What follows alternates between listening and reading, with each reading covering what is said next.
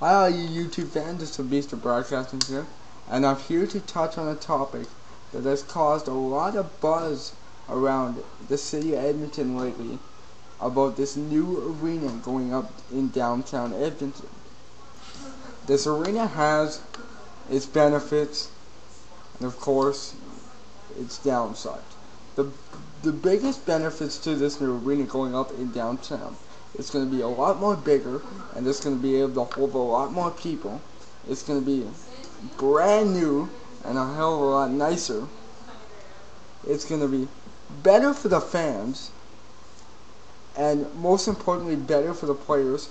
So now we might actually be able to attract a big name player such as the Marian Hossas, the Kovalchuks, the Brian Campbells, and so on down the list. Another big benefit to this uh, brand new arena going up in downtown Edmonton is going to bring bring in lots of money for the city of Edmonton. It's going to attract people from out of town to come to this arena because we have a lot more buildings in the surrounding areas such as hotels, brand new hotels going up, restaurants, casinos, just in that surrounding area so people when they decide to stay in a hotel and maybe they will pay to come watch an Edmonton Oilers game.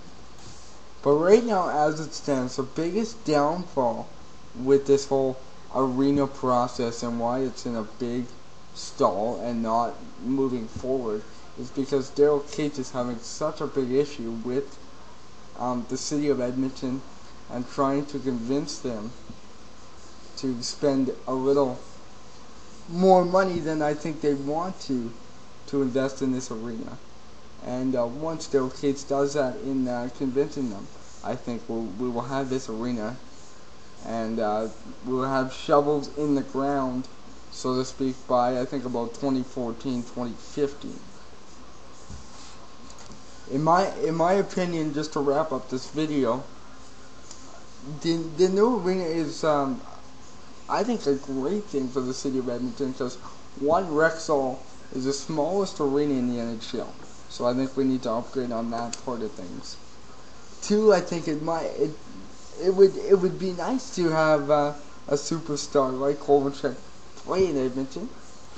I would also like to see uh, the Edmonton Oilers stick around for a couple more decades and uh, bring in four or five more Stanley Cups. So um, City Hall and uh, Mayor Stephen Mandel, please let this arena go through and we can all go on with our lives and enjoy uh, Edmonton Oilers hockey at its finest.